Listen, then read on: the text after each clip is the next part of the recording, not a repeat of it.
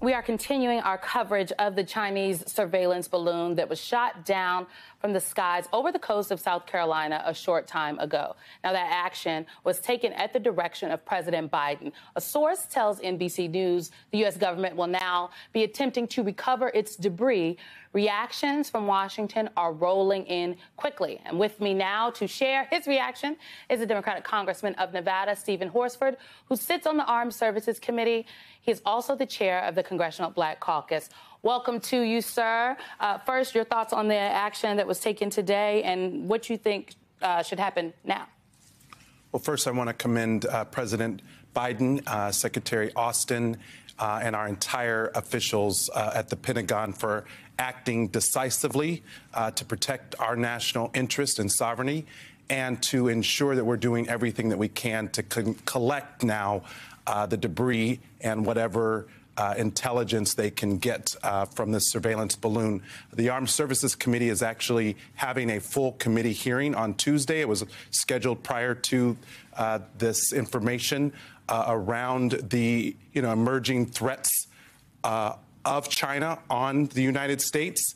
And our Financial Services Committee is having a hearing on the economic threats uh, posed by China. So Congress is already taking these issues and has been uh, very seriously. I want to commend uh, our chair on both the Armed Services Committee and the ranking member for doing that hearing. You know, I think the congressional piece of this is very important. All week, we heard from a number of your Republican colleagues who were urging President Biden to essentially shoot the balloon down. We have heard from the president now and the uh, and uh, Secretary Austin about why that did not happen until now. The safety, given you know, two school buses is large. Uh, the debris area is about seven miles wide. The debris spread. Uh, China and the issue of China uh, seems to me like a very bipartisan issue that uh, Democrats and Republicans in this very interesting Congress can at least agree on. You talk about the financial threats, the economic threats what is it that Congress can do? Because again, the posture has been competition, not conflict. And in all the conversations I have had this week and today from U.S. officials, it seems to me they are not looking for conflict still, but they they do know that China has not essentially played nice in the international sandbox. Well, one thing I can say for sure, the Armed Services Committee always works in a bipartisan manner when it comes to our national security. And although we are no longer in the majority, I'm confident that Chairman Rogers, working with our ranking member, um, uh, Mr. Smith, that we will continue to come together on these issues. I would like for the uh, Pentagon to come and brief the committee specifically on the events around this surveillance balloon, not only the threat that it posed to the United States, but what um, the People's Republic of China is doing all around the world in collecting surveillance information. We, we this is not new information, no. but it is a, a, a, threat, whether it's intellectual information, security information, surveillance information. I represent in my district in Nevada. Um, you know, the, the Nellis Air Force Base, Creech Air Force Base, the Nevada Test and Training Range. So we have a lot of critical assets throughout the United States, and we need to know as members of Congress, we need transparency on, on what information is being collected, even if it has to be in a classified setting, so that we know what more we have to do to act to protect our interest.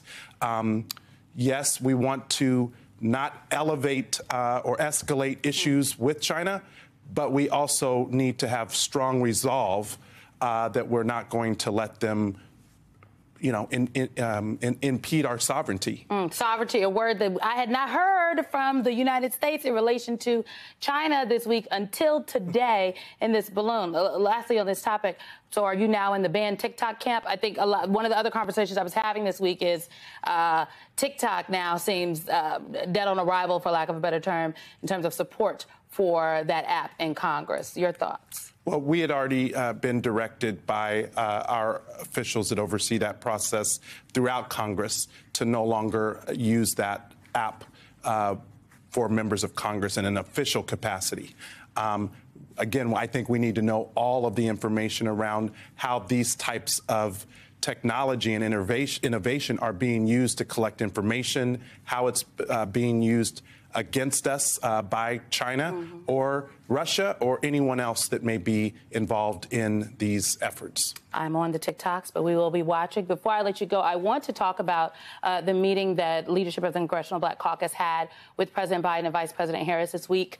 Um, what did you ask for in that meeting? What did the president promise you? And are we going to see some very pointed language in the State of the Union speech given by the president on Tuesday on police reform?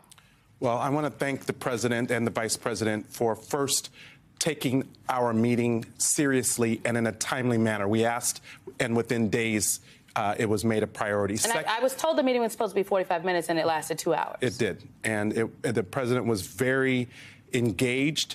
We had several of our members uh, talking about a, a, number of things. We asked for three things. Number one, that the president use the moment of the State of the Union to center the issue of policing and its impact on the lives of people in this country from a public safety standpoint.